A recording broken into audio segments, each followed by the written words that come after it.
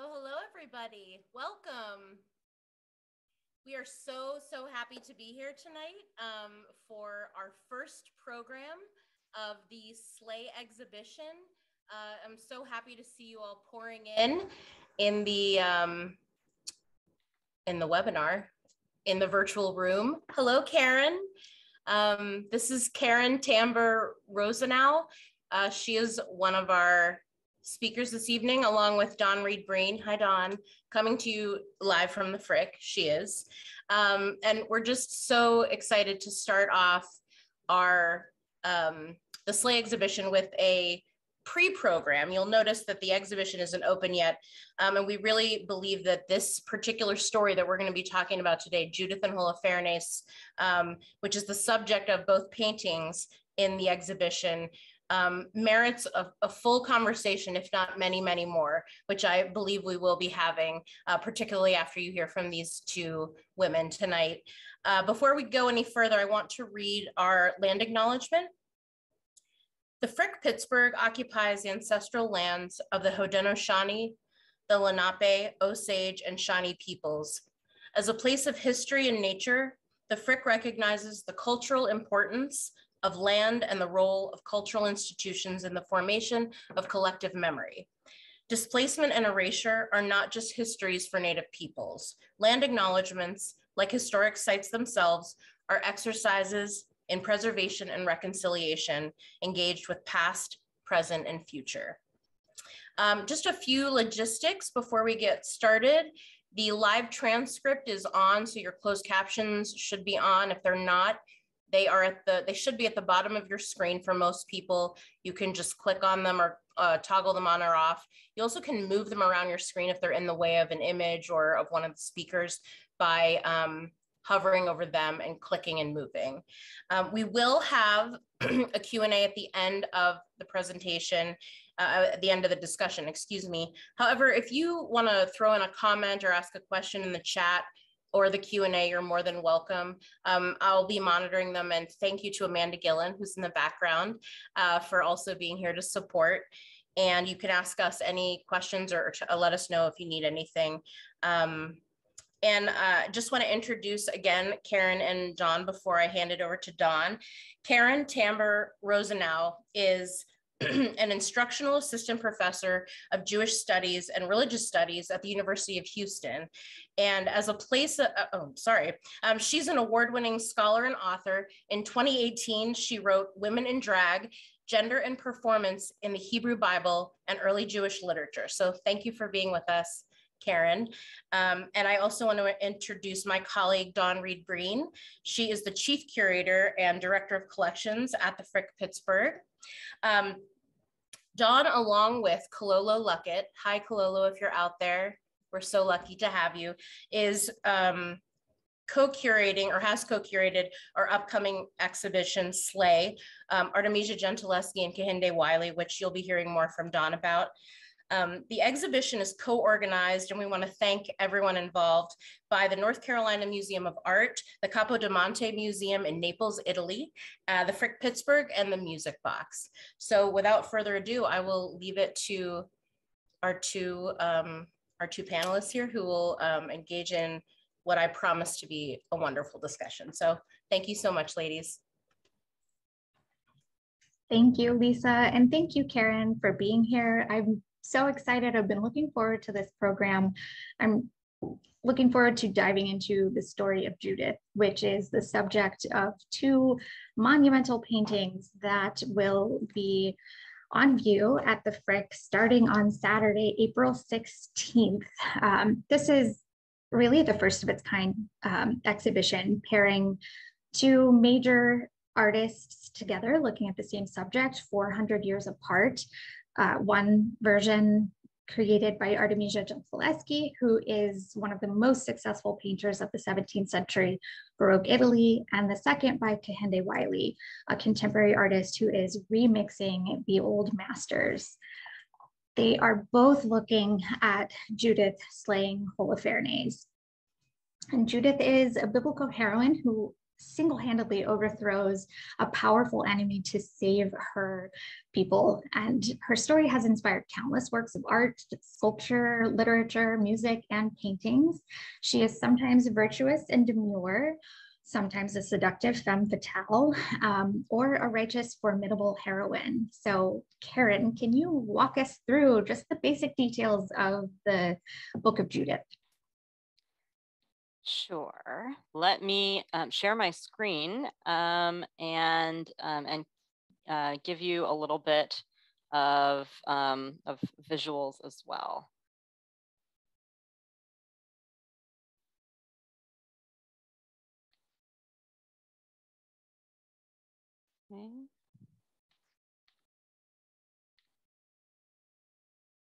Okay. Are you seeing my um, are you seeing a presentation or are you seeing the present presenter view? We are seeing your presenter view. Darn it.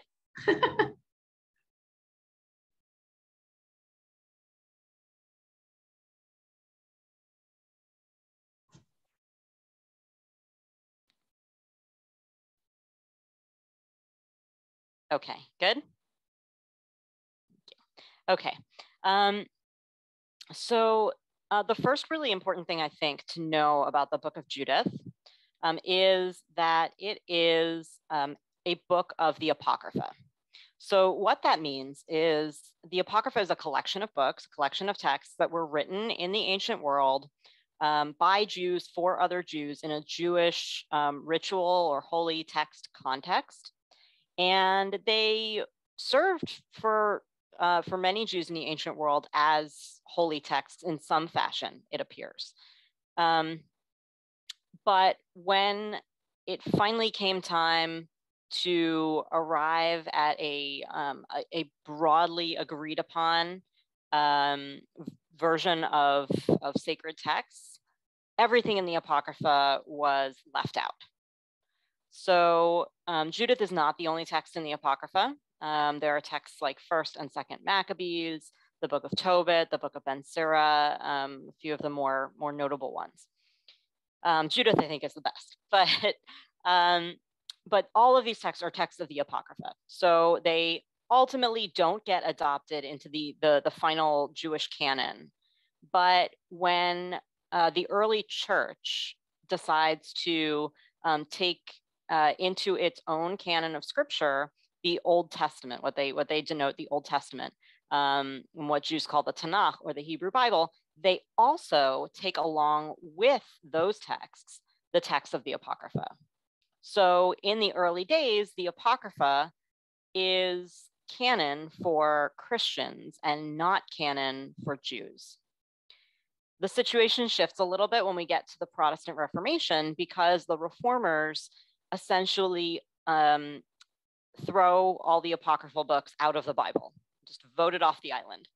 So, um, what that means for us today is that if you um, come from a tradition that is Roman Catholic or Eastern Orthodox Christian, like Greek Orthodox or Coptic Orthodox, um, you have got the Apocrypha in your Bible. You might be more familiar with these texts than uh, folks who are Protestant or Jewish who do not have the Apocrypha in their Bible.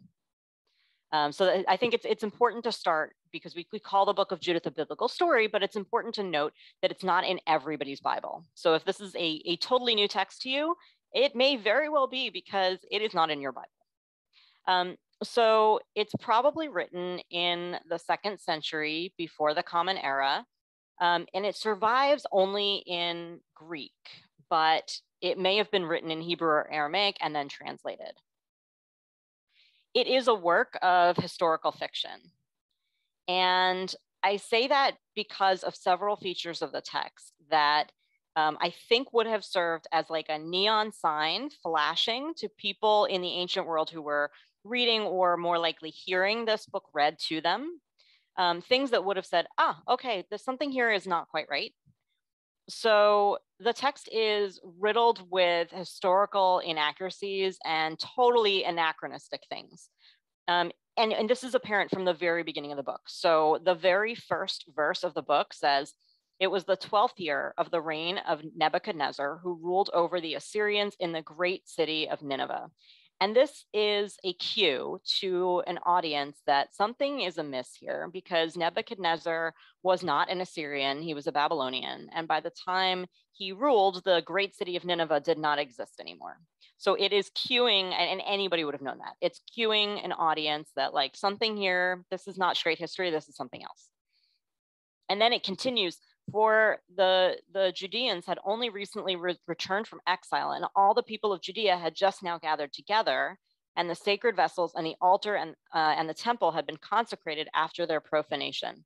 So it seems to be set in the days of the the Judeans or the Jews returning from exile in Babylonia, but then the leader is the Babylonian, the Babylonian guy who conquered them decades earlier. Like the, the timeline is very strange. It doesn't make sense. And it's cueing us over and over again that something else is going on. This isn't, this isn't telling us something historical. Um, the geography is all muddled and it contains place names that may be fictional. And my favorite one of these is um, Judith's town is called Bethulia. Um, in the Greek. And this bears, I think, not a coincidental similarity to a Hebrew word, betulah. And that Hebrew word means virgin. And so the town is the town of Virgin, Virgin Town. And they are the whole time, the whole story is about this town of Virgin that is located um, at the end of a narrow mountain pass trying to keep away the invaders. And I think you see where I'm going with this. I don't think it is um, a coincidence. I think that, that it's, it's a symbolic name. And then Judith herself has a name that actually means Jewess, female Jew. Um, so I mean, I don't, I don't think you can get a whole lot clearer that she is supposed to represent the nation. So that's just a little bit of background on the book, but um, uh, we can get into, into the story. So um, in the story of Judith, we have Nebuchadnezzar, who supposedly is an Assyrian, even though in real life, um, in real history, he's a Babylonian. He sends his general, whose name is Holofernes, to conquer a whole bunch of territories in the Levant region, which is where uh, Judea is located. A lot of other people just surrender because they see the Assyrian army, the most feared army in the ancient world, coming at them with chariots and horses and weapons, and it's terrifying, and they surrender but not the Judeans. They decide to resist, they prepare their defenses, and they declare a fast. And meanwhile, Holofernes decides that he wants to know more about this people. Who are these people who will not surrender to me, the feared Holofernes?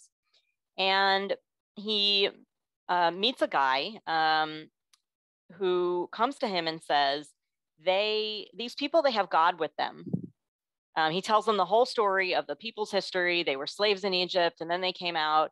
God saved them and they have God with them and they cannot be conquered unless they sin. If they sin, God will use you as an instrument of God's punishment and let them be conquered. But if they've been righteous, you're out of luck. You're not going to ever be able to conquer them. Holofernes says, eh, I don't believe it, um, and lays siege to Bethulia. So he and his men surround the, the, the town of Bethulia. And a siege is designed to starve people out. And that's what starts happening. Um, the book says that people start starving in the streets. They're, they're just falling down dead. It's uh, very difficult. And the elders of the town worry about, especially the children. They're like, well, you know, our children are dying in the streets. Um, we have to do something now. We have to intervene because if we if we surrender our children may be taken as slaves but if we don't surrender they will die. We need to figure this this out now. So they say we're going to hold out for five more days. And then if god has not made a miracle for them in five days they will surrender to holofernes and his assyrian forces. And so far you might be wondering okay this is the book of judith. I haven't seen judith yet and that's because for the first half of the book, we don't even meet her. She's not even there. Um, it's all about military engagements and it's about um, the, the elders of Bethulia. But finally, in chapter eight, we get to meet our heroine. So Judith is introduced as a wealthy and pious and beautiful widow. And not only that, but she's got a really amazing pedigree. She has a really amazing background. They, the, um, The text traces her lineage back 16 generations, which is an incredibly extravagant genealogy for the Bible.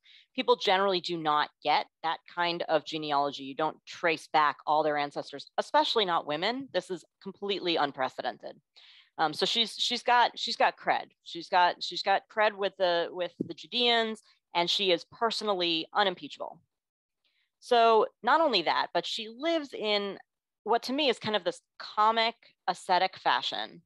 She is a widow, and as a sign of her widowhood, even though she's been a widow for more than three years, she is still living in a state of mourning.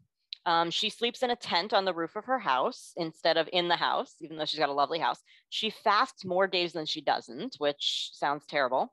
And she rejects her beautiful clothing in favor of sackcloth. So she used to have all these beautiful clothing clothes that she wore when her husband was alive. Now she dresses in sackcloth all the time. Um, it's it's very over the top performance of like what it means to be a widow in the ancient world. So Judith hears that the elders plan to surrender and she summons them to her, her house and they come, showing that she's got a lot of power and influence.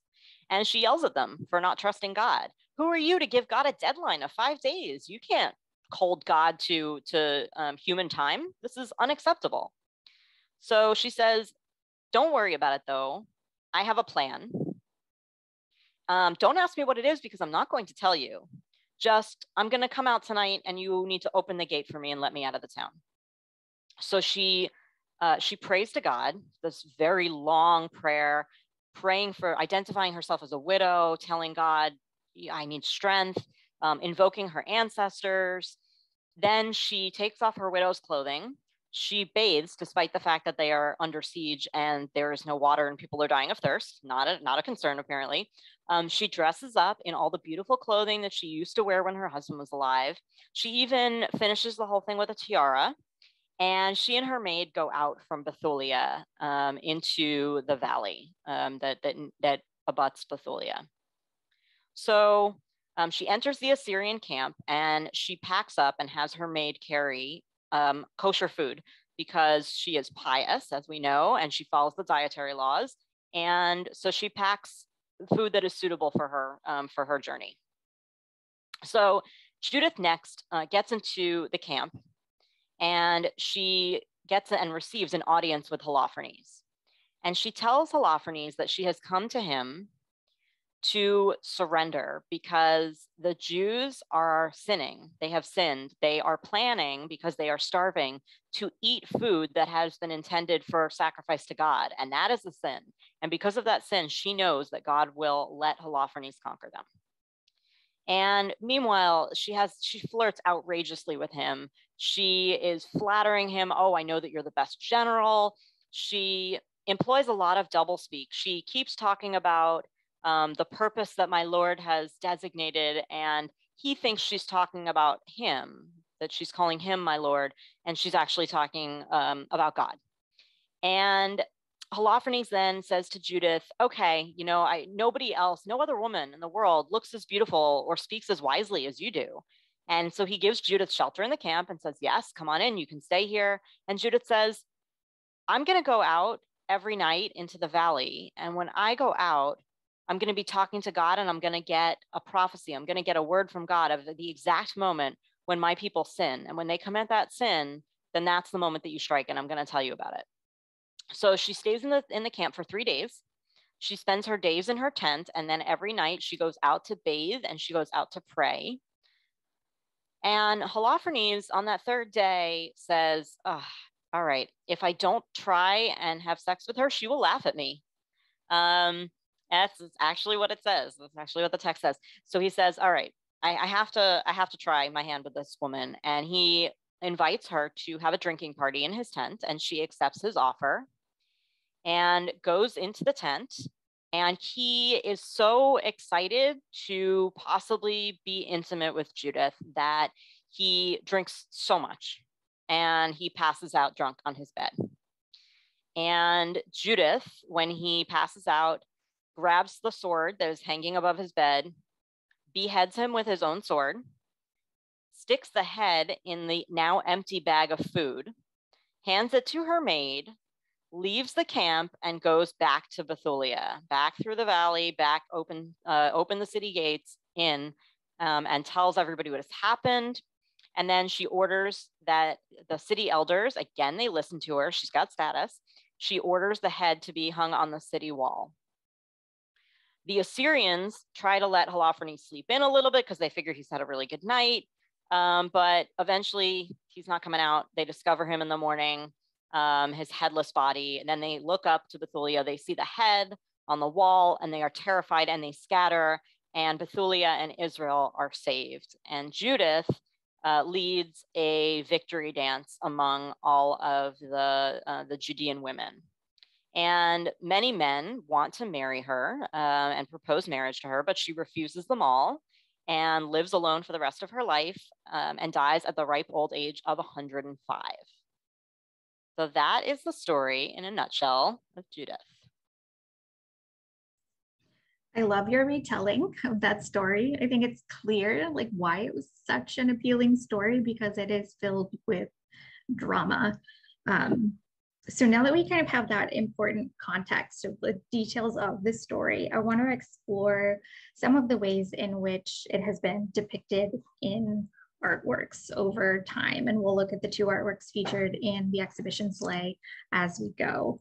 Um, so your description of Judith, I think, has shown some of her unique characterization that really combines those so-called womanly virtues, you know, piety, humility, chastity, along with you know, physical strength to overthrow her oppressor. And so I think, and from my perspective, that's what really makes this story particularly ripe for artists who want to explore those dynamics of gender and power. Um, and often looking specifically at female power and virtue and beauty. And I think, you know, like any narrative, so much depends on who's telling it and who's depicting it. And the story of Judith has kind of been interpreted as the underdog overthrowing evil, righteous triumph over heresy, political victory over tyranny, um, you name it, it's been used for a particular purpose. Um, the subject of Judith was so common, particularly in early modern European art. And depictions of Judith often fall into two categories. You have the femme forte, who is the strong, virtuous woman, or you have the femme fatale, that sexually dangerous, devious, deceitful woman. Some of the earliest depictions of Judith um, come in the Middle Ages, and they really focus on her virtuous character. And she's often connected with the Virgin Mary um, in the kind of visual language, wearing blue. She's very demure. Her clothes are somewhat plain. You know, she's pious, humble, and chaste, a virtuous warrior fighting on behalf of God.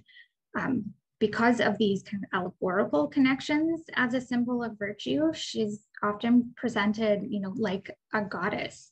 Um, and Botticelli's depiction of Judith is one of the most well-known um, and she's incredibly graceful. She is strolling in the open air. A breeze is, you know, wafting her garments behind her. They look like they could be headed out for you know a picnic and not a beheading. um, her servant is carrying Holofernes' head effortlessly atop her own head, and it's a very kind of serene, graceful depiction. Um, but by the beginning of the Renaissance, you start to see depictions of Judith often carrying an undercurrent of a political message. And one example of that is Donatello's bronze statue of Judith and Holofernes. This was originally placed in the garden of the Medici Palace in Florence, where it was juxtaposed with the artist's statue of David, two characters who are known for slaying tyrants. And I think um, during the Renaissance, Italy was not a unified country at this point. They are collections of smaller independent city states and the Medicis ruled Florence and no doubt commissioned these statues as an allusion to the power of their, the small principality of Florence. And you see Judith in this warrior stance. You know, she's holding the sword above her head. She is poised to strike down at Holofernes. She is a less graceful, but no less beautiful depiction. While at the same time, you know, her head is very modestly covered. She looks somewhat similar to depictions of the Virgin Mary, um, while her facial features are also very classical, kind of tying her to classical statue, um, statuary um, of an earlier period. And by the late Renaissance, you start to see depictions of Judith becoming a bit more seductive and a bit more aggressive. She transforms from a relatively simply dressed figure into an elaborately adorned noblewoman. And I love that Caryn talked about how she put on beautiful clothing so that she could enter the tent. And here you see Lucas Cranach, the Elder's version, showing Judith, who is, you know, dressed to kill. she is wearing an elaborate contemporary costume of the 16th century. She's still a kind of serene beauty, but I she's got a little bit more of a sly, steely smirk on the on the gaze there during this time, there's also an increasing emphasis on her physicality. So you start to see kind of a celebration of her body and the female form. Um, and it, you showed this depiction as well. Uh, that celebration of the female form often took an eroticized avenue and in Northern Europe, which was obviously farther from the seat of Christianity in Rome, the story of Judith was often an excuse to paint a nude figure. And here you see um, an overtly erotic, you know, completely nude Judith who's looking very coyly down. Sometimes depictions show her looking out directly at the viewer, you know, less a representation of a biblical heroine and more, you know, an opportunity to create a titillating artwork. During the Baroque period, um, which is an era of art characterized by grandeur, drama, monumentality. The story of Judith was an opportunity to go big, and it gets really grisly. As we've seen so far, artists are typically focusing on the moments immediately before or after the beheading and not the act itself. But that really changes with Caravaggio's depiction in 1599, um, one of the most iconic depictions of Judith. This um, the Baroque master captures Judith in the act. Um, there's kind of a horizontal composition that almost looks like a stage set. There's this really dramatic play of light and shadow, which is what Caravaggio was known for, this chiaroscuro, um, which makes it almost seem dramatically lit as if it is spotlit. You know, they are kind of static characters as much as the drama is happening. And I think this Judith um, she's young, she's blonde, uh, she appears very hesitant. There's really nothing about her body language that would suggest that she is physically capable of completing this act. Um, and here, her servant, who's standing next to her with the cloth sack ready to receive the head, um, is depicted as an old, you know, haggard woman, kind of serving as a foil to further offset Judith's youth and beauty. Um, but here, Caravaggio can't kind of resist eroticizing and sexualizing the figure of Judith. You see her breasts and her erect nipples through her thin chemise. So there's still that element at play of a male artist depicting this female heroine. Artemisia undoubtedly saw and was influenced by Caravaggio's version. And while there are a lot of stylistic similarities between their treatments, you know, particularly within that play of light and shadow, their compositions really diverge greatly. And this is the example that you will see in the galleries in the Slay exhibition. Um, here you have a very vertical composition and it is a monumental painting. It's large and oversized and presented with a realism that is unsettling, shocking. I think this shocked Italian audiences in the 17th century, and it kind of continues to shock when you see it today. Um, and here you see Judith in tandem working with Abra, her maidservant, who um, is depicted as a contemporary and kind of equally engaged in the work with Judith. They are resolute on the task at hand, you know, sleeves are rolled up, gazes are focused. And this depiction by Artemisia Gentileschi is often interpreted in light of her own experience with sexual violence.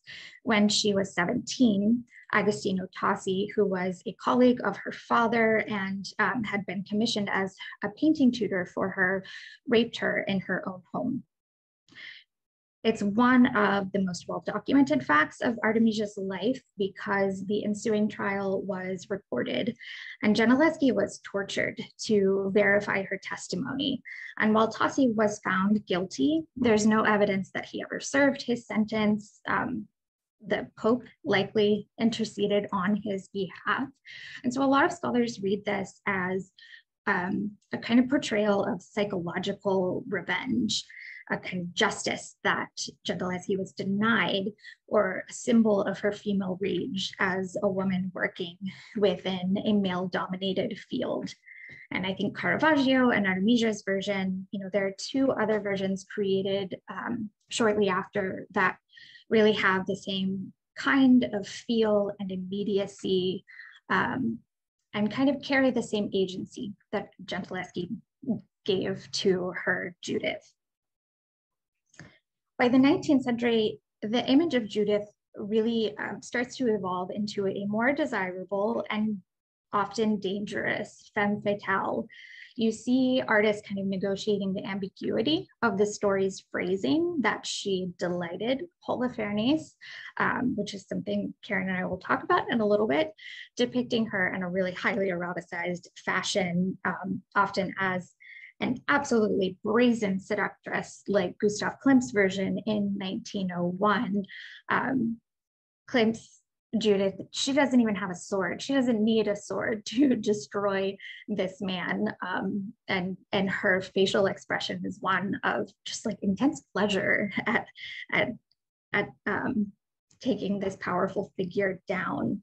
Somewhat similarly, German symbolist Franz Stuck um, often played played with those same ideas. This is one of many many versions that he created from this story. And while the popularity of um, Judith's story kind of waned throughout the 20th century, she still speaks to contemporary artists and contemporary audiences. So here we have more Morimura Yasumasa's um, depiction, Mother Judith 2. He is a Japanese born photographer who is known for appropriating very recognizable images of art history um, often portraits, and inserting his own likeness and visage into the frame in place of the traditional subject. And born and raised in Japan, he's been very outspoken about his experience as a student of art history, that he was fed a diet of art history which prized Western artworks. So his self-portraits um, are really a critique of the teaching of art history from a Eurocentric viewpoint. And here we see him interpreting Lucas Cranach the Elder's version of Judith, which we saw earlier. And I think um, this is such an important example to show because it really closely relates to Kehinde Wiley's approach. Um, Wiley is a Black American painter who's known for hyper realistic portraits of young Black men and women and he uses the visual vocabulary of old European masters, kind of remixing them with contemporary culture um, and physically putting Black bodies in you know, positions and paintings that are often associated with white aristocracy. And speaking about his work, Wiley has stated the whole conversation on my work has to do with power and who has it. And Kehinde's version of Judith was created in 2012 um, as part of his first series of paintings to feature female subjects in economy of grace. And as in his earlier work, um, he always bases his portraits on um, specific sources, in this case, case a 17th century painting of Judith um, by an Italian artist. And so you can kind of see how he is translating the physical body language of Judith within this portrait, um, showcasing her as a modern Black woman who is standing strong with a gaze directly out at the viewer. She is attired in this incredibly elegant, beautiful gown, um, and really creating a work that interrogates those structure, structures of power um, and identity and representation within art history. And it's really an incredible opportunity to have two of the most iconic versions of Judith that have ever been created. These are exactly 400 years apart, kind of conversing with each other in the gallery. I think both of these versions speak to the time in which they were created, but they also speak to each other. They continue to speak to us today. So I'm kind of excited to get Caryn your perspective on what exactly is about the story of Judith that makes it such an enduringly appealing narrative for artists to go back to.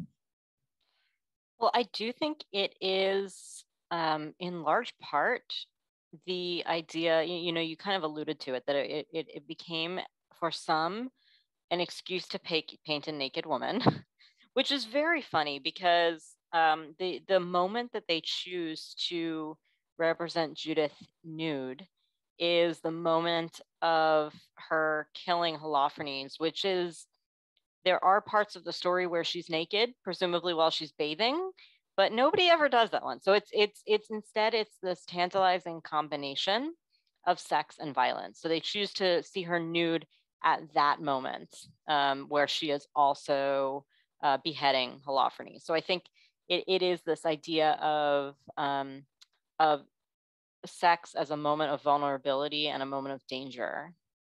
Um, the story is very clear that Judith does not have sex with Holofernes. Um, the story is clear, and then Judith herself is very clear when she gets back to Bethulia.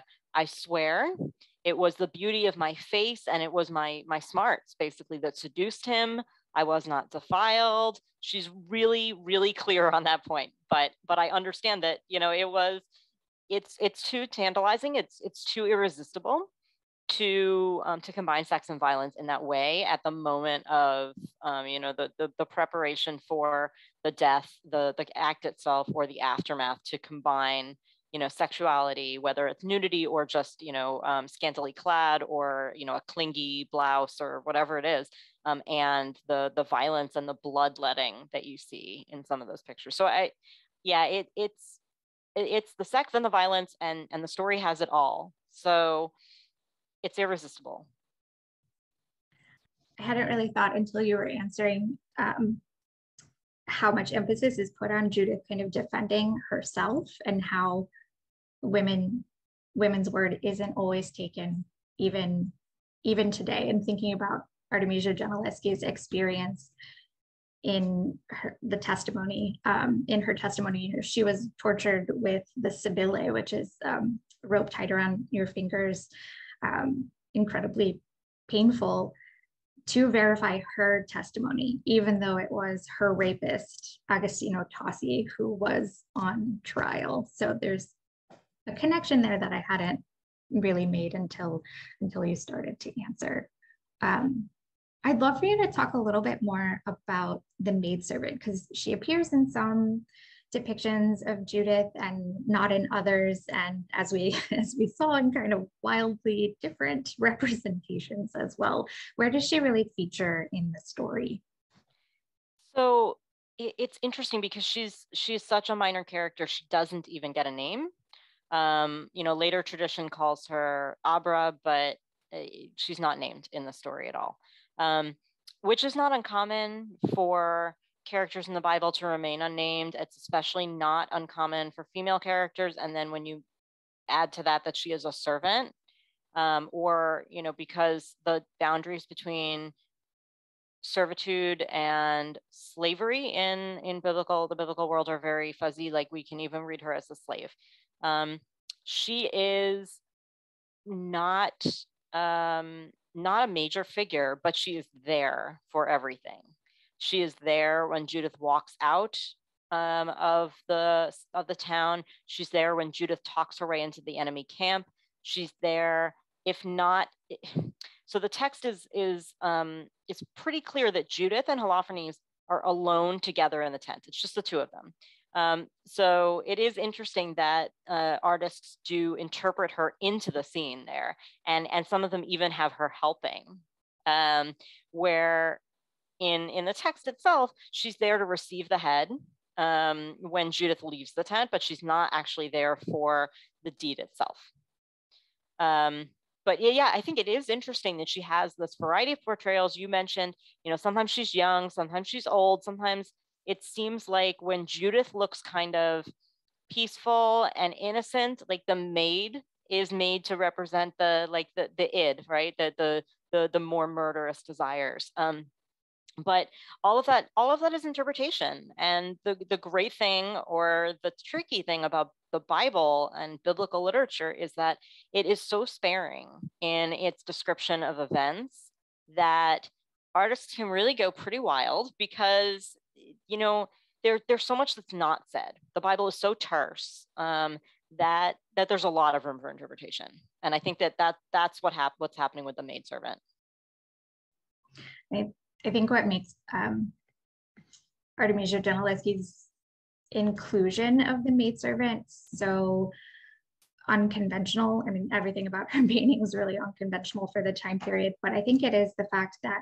um, she depicts her servant as a contemporary. They are a similar age. Um, they they are in it together as comrades, which it's always so tempting to read artists biographical details into their making of a painting, which I think is why so many scholars put an emphasis on her life experience and interpreting it or um, thinking about her as a female in a male dominated field, maybe wanting to create a sense of camaraderie or female companionship that maybe she did or maybe didn't have. There's so many things kind of like the Bible that we just won't know. I think new details about her life continue to emerge, but um, there's always an element of interpretation and interpreting from the stance of when the art is created and interpreting it today. I am hoping that we'll get some questions um, from our audience members. Please feel free to put them into the Q&A or the chat. Um, I have a lot of other questions, but I want to give room for, for others to ask some too. And I, I know Lisa was maybe going to come back and Lisa may have some questions to help us kick off the Q&A portion. Um, what, what else do you think we should know about that story of Judith? What else would you encourage visitors to kind of have in their mind as they come to this exhibition? So I would recommend considering that Judith is you know, there have been scholars who interpret her as acting like a man because she is taking up weapons of war and not leaving it to she's not leaving it to the elders she's not leaving it to soldiers on the battlefield. She is doing this very unwomanly thing so she must be acting like a man. But i really would encourage people to keep in mind that what the text has her doing is yes absolutely the ultimate you know instrument of death is a sword.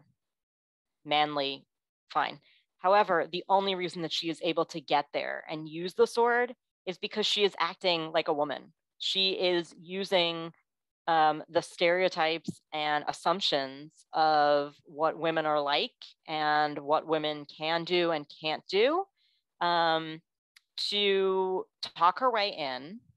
Um, she, I mean, she she literally um, dresses in feminine finery. She literally changes her appearance. She, um, as I argue in my book, she basically puts on drag, and she she is in drag as the sexy, beautiful, seductress woman, even though it seems through the whole story she has no intention of actually sleeping with Holofernes. She has no intention of getting married again. She's not sexually available but her her drag persona is this like femme fatale, um, sexy lady, and and she that's what she does. And so I, I mean I think that that lots of the artwork that you showed is you know is underscoring that point that she is um she's very she's putting on this femininity right a lot of the artists really do put her in um, in quite uh, elegant clothing or very elaborate um, the chronic um, where she's very very um, uh, very well put together very upper class you know her hat is arranged just so um, and and so i think that that i would encourage people to think about the way that she is using femininity itself as a weapon of war. Um, you, we had talked um, a little bit earlier about about all of this, and Caryn, you mentioned something about Judith as um, as a mother figure um, for the city that she was defending, but that she was not actually a mother, and it just made me think about both both paintings in particular.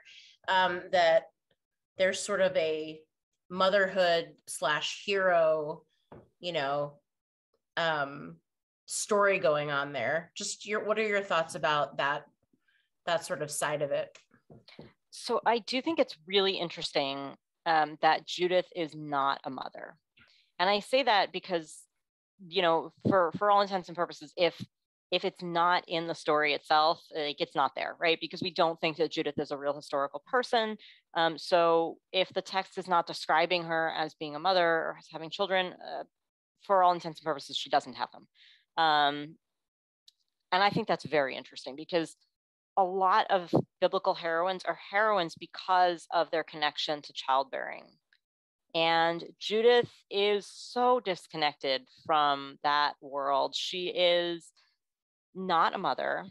She is clearly never going to be a mother in the story because she is she's childless and then she doesn't she refuses all um attempts to you know all, all the men who proposed to her she says no no i'm good alone thanks i'm, I'm fine um so no kids and the the the men in the story are constantly talking about the children oh you know what are going to happen what's going to happen to our children and Judith, by and large, does not do that. Mm-hmm. Um, she is mainly talking about the present. She's talking about the people who are there right now. Everybody else is talking about the the children. What are we going to do about the children? She's like, you know, she doesn't actually say this, but my interpretation is she's saying, I forget the children for a minute. Like, can we can we please stop focusing on the future so much that we lose the past, like lose the present? Mm-hmm. What if, what if we what if we focused on what happens now and the people who are already here and deal with that. Let's try that for a minute. Thank you. Um, Dawn, we have a couple um, questions in the Q&A and in the chat. Um, I'm going to ask you ask you both this. Can you talk more about the Kehinde Wiley painting uh, and specifically the depiction of Holofernes in it? Um, so is that a woman's head is the question. I've never seen this work, so I'd love to hear more about it. Yeah. Um, I, so the Kehinde Wiley version, that is a woman's head who is representing the traditional Holofernes role. Um, and I love kind of the visual language between the two. On the left in Artemisia's version, you see Judith's fist kind of holding Holofernes' hair down. And then in Kehinde Wiley's version, Judith is holding this woman's ponytail. And I think this can be interpreted as Wiley using the story of Judith as a device to assert the systemic racism in American history. I think um, a lot of Kehinde's work has to do with representation and you know, he was he was a student of art um, growing up in California, visiting museums, developing this love of old master portraits, you know, these grand projections of power and prestige, but very aware that people of color were not in those depictions. So I think a lot of his work with these beautiful portraits of contemporary black men and women is you know physically putting those bodies on the walls of museums um, acknowledging calling out what is beautiful to him, which he has not seen represented as beautiful in a lot of culture. Um, we have uh, another question. Um, could you please speak more about the role and status of the servant, um, which we did talk a little bit about, and also that should we assume that she would also have been Jewish? And did Judith free her afterwards, indicating that she was a slave? So um, the we don't know about the the ethnic or um, you know origin of the servant or slave. Um, we do have at the end of the story a note that Judith, before her death, uh, freed her her freed freed her maidservant. So yeah, I mean, I think if she had to free her, we are probably talking more about um, about slavery than what we might consider, you know, being a servant.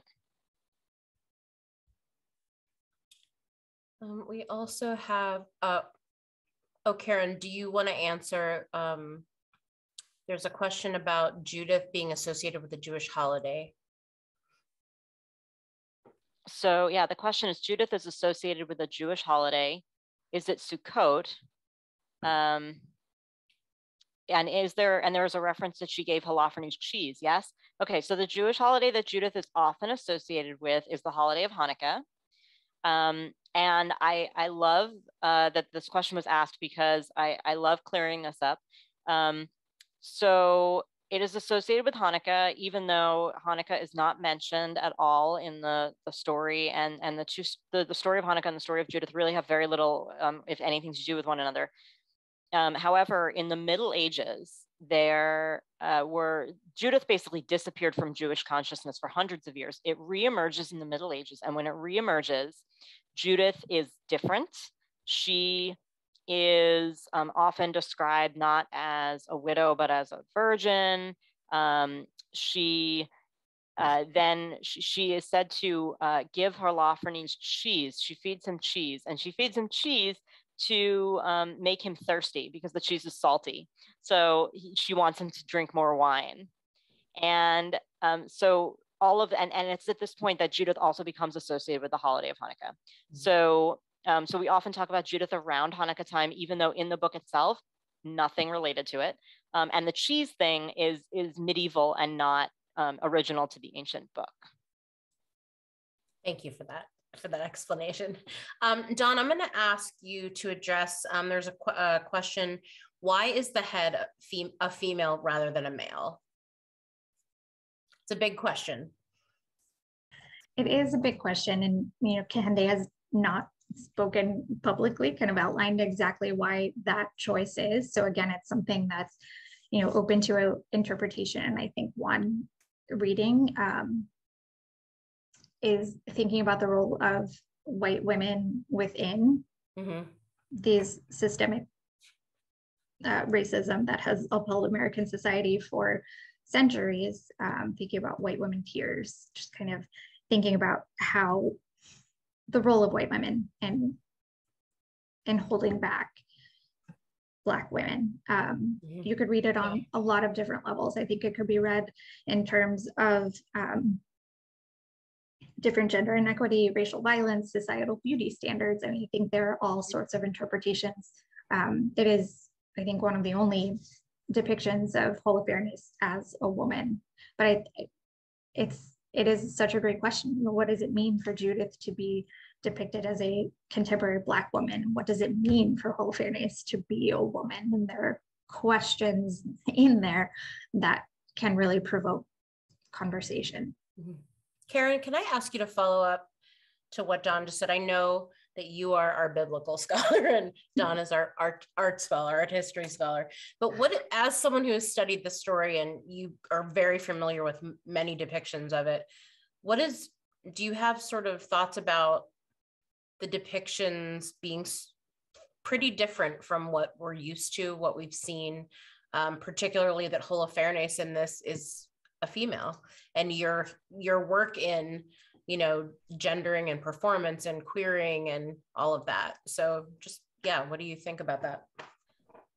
I mean, if I were to to hazard a, an educated guess. Um, I'm I'm wondering if we want to um, see if we want to look back at the history of interpreting um, you know, the text itself, and then the history of interpretation in art of the relationship between Judith and Holofernes as very um, loaded with sexual innuendo. Mm-hmm. Um, I am wondering if maybe that that sexual innuendo, um, what we can do is perhaps read uh, the artist as saying, okay, there is some sort of sexual danger um, posed mm. by by white women you know that there's some, some sort of sexual and i'm thinking of of things like um like emmett till um right who who was um, murdered after it was believed that he had you know a white woman said that he whistled at her and i'm wondering if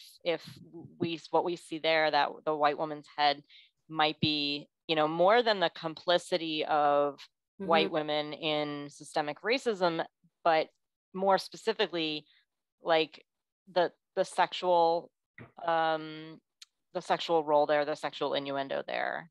Mm-hmm. thank you. That was that was great. That was that was great. You you're now an art historian. No.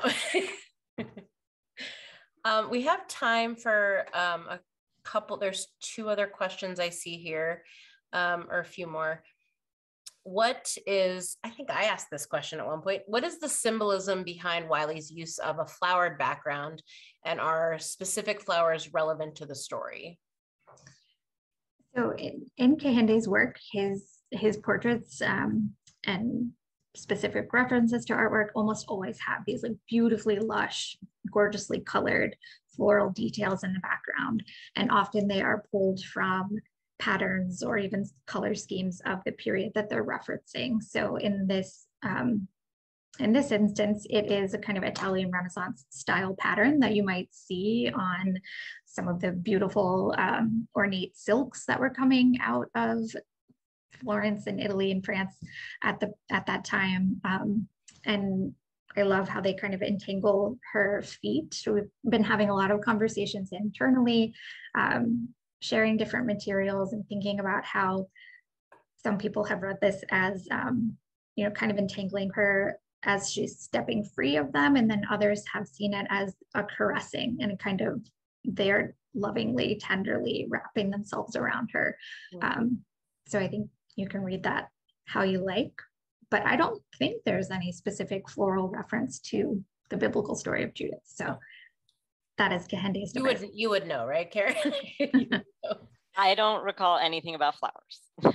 right. Um, there is a comment here that harkens back to something that you were talking about. Um, it's just a comment. Perhaps Judith's semi semi nudity was a means of relaxing her victim and encouraging his drinking, which you, when you were talking about the cheese, I believe you covered that. Um, so that's a, a good point brought up and we have one uh, it's almost eight o'clock so i just want to be um, respectful of everyone's time but we do have just one more question and then we can we can wrap up. Um, thanks for ever, everyone for sticking with us here. Um, someone is asking can you talk a little bit more about the judith story in the context of the counter reformation do you think artemisia was responding to that context I think she certainly could have been. I think a lot of artists who were painting Artemisia in that time period were connecting that story to the Counter Reformation as kind of the church's triumph over heretics. And I think likewise, it could be, um, it could serve in the inverse as well. So any sort of purpose. Uh, does do either of you have I, I feel like I have 12 more questions now. Um, but I will just ask each of you if you want to maybe uh, say anything else or sum up what you've talked about or what we've talked about here. Um, and then we'll release everyone into this beautiful night. I don't have anything to add. Okay.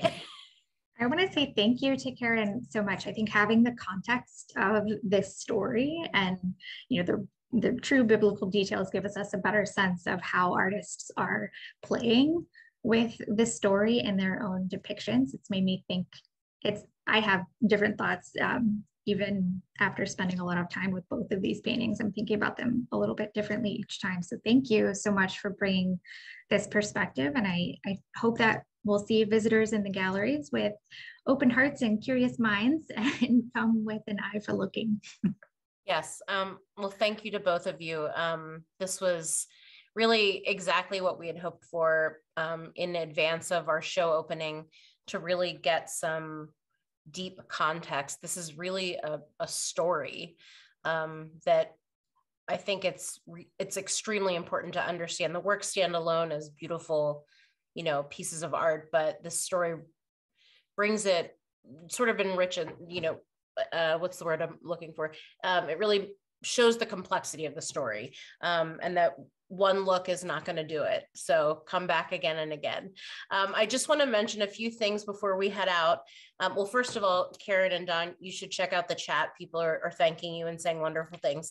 Uh, this recording will be available for everyone on YouTube. Um, if you want to go back and refresh before you come or send it to somebody, um, it'll be there. Uh, we also have some really great programming uh, programs coming up. Sorry, a slate of programs coming up, and I just want to call your attention to a few. We have three screenings over the the course of the exhibition of Economy of Grace, which Dawn mentioned. It is a documentary about um, Kehinde Wiley's work. It's um, going to be in the auditorium. You can go online to find out the dates and register. We also have in gallery conversations on Thursdays and Saturdays through the exhibition, which is a really wonderful way to engage with, with what you see um, hanging on the walls and to talk about um, talk about what you see and maybe even more questions that you don't know to ask. Um, we're going to be we're going to be in there for you on those days, and then also a live virtual gallery night with uh, Kilolo Luckett, who I saw in the chat. Hi, Kilolo. Um, and there are a number of other programs that are um, online and in person. We're, we're back to a mix, which we're happy to be back. Um, and so thank you to everyone. Truly, thank you. again, on this beautiful evening, I feel like this was a great start to this exhibition. Caryn, you were perfect. So perfect, perfect for us. Um, and so we just thank you so much. And Dawn, as ever, thank you, everyone. Have a wonderful night. Thank, Thank you, you for having me. Good night. Thank you.